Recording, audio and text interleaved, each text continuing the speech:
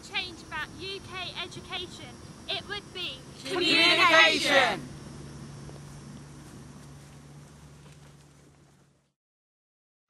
There is a lack of communication between the student body and executive roles.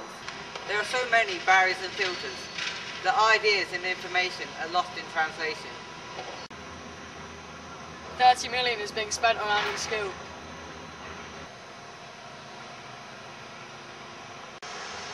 Were asked briefly what we wanted, but we feel that our thoughts, ideas and opinions have not been taken into account or acted on sufficiently.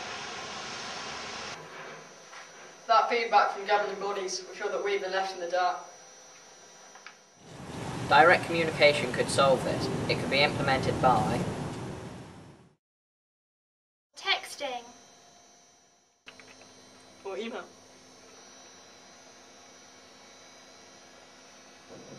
or video conferencing.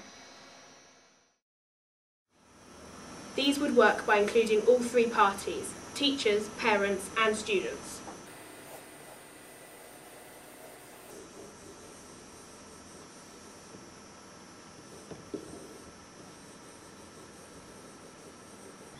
Everybody could be asked. Everybody could be heard.